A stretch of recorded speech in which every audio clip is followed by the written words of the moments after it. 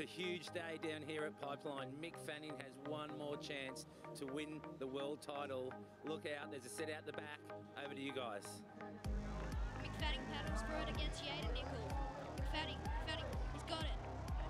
Big bottom turn into the barrel.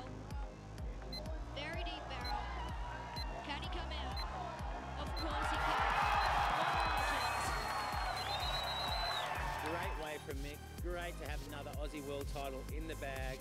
Sensational commentary, by the way. And you know what? We'll be back with more after this.